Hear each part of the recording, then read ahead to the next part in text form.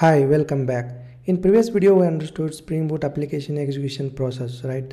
Theoretically, we've gone through 10 steps. Okay, so these are the steps involved in Spring Boot application execution process and this is the diagram which shows Spring Boot application execution process at a high level. So first step is our Spring Boot application execution start from the main method and main method internally called run method. Run method internally does all these steps like it will start the stopwatch to calculate the time taken by the Spring Boot application and it will prefer the environment like production environment or QA environment or test environment etc and then it will print the banner and then it will start the IOC container and it will refresh the application context and it will trigger the runners and then it will return application object to the uh, to the main entry point class. Alright so these are the steps involved in Spring Boot application execution process. Now we will deep dive into the source code of run method and we will understand all these steps. Okay? So let's switch to our spring tool suite id let me stop the server. Okay? So all our spring boot application execution start from this class. So this is called start class or spring boot application entry point class. So this class contains a main method and main method internally contain internally called spring application dot run method. So look at here run method is a static method and we are calling run a static method using a class name. We are not creating object of this class to call a run method because run method is static so we use class name to call the run method. A run method takes two arguments. First argument the start class name and then command line uh, command line arguments. Okay great. Now let's jump into run method. And look at here. Now we are in spring application dot class. And this class contains run method. And look at here run method is a static method. Okay? A run method internally call another run method. So there are overloaded static run methods. Okay? And again this run method internally call run method. And there we go. So this is the run method which contains all the steps. For example the the first step is stop stopwatch starts.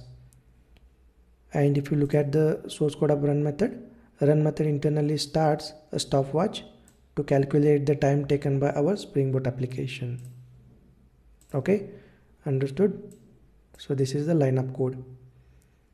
Okay? Run method internally starts stopwatch to calculate the time taken by our spring boot application. And it will you know declare configurable application context object. So this is nothing but our uh, spring ioc container object. This is not yet created. This will be created in next step. Okay and it will get all the listeners. Okay and then it will start all the listeners. So these are the spring boot application level listeners okay whatever the command line argument that we pass to run method that will be passed to this get run listeners method. Okay so first step is starting stopwatch and next preparing the environment to run our spring boot application. And here is here is the logic which will prefer environment for our spring boot application. If you go inside prefer environment then you can able to see all this source code. So this source code is responsible to create the environment.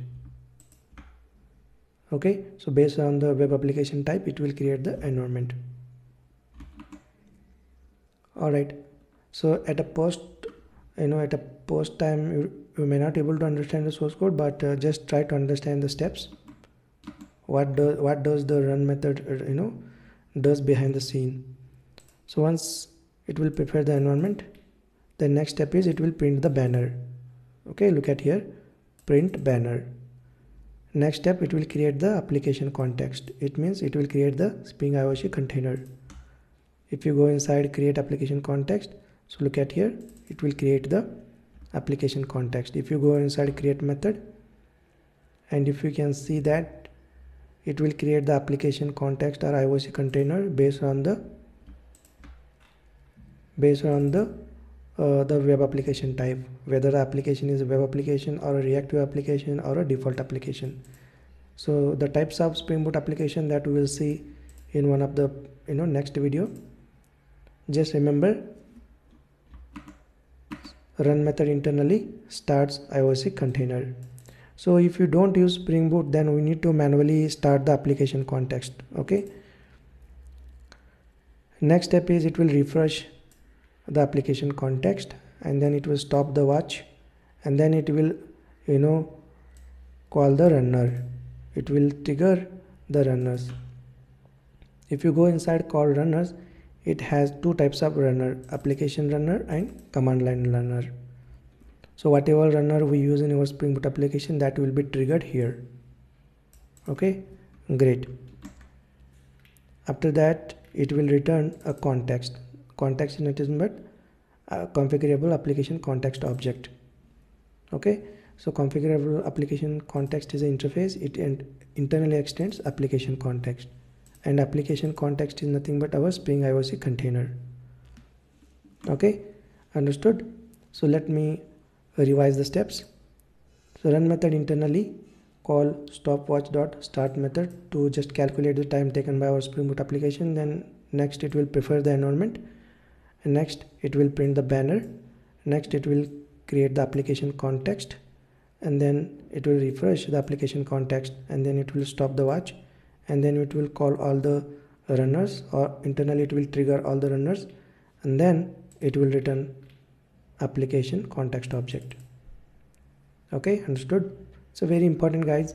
You should understand how spring boot you know application you know bootstrap behind the scene. Now we understood about the run method what it does internally. Okay just uh, note it down all these steps. I will i will give all these notes in video description. Okay guys. So look at here run method returns configurable application context and we can use this application context object to get the beans that you that we want. We'll see in upcoming videos how we can use the application context object to retrieve a particular bean from the spring ioc container. All right i hope you understood how run method does you know uh, bootstrapping of our spring boot application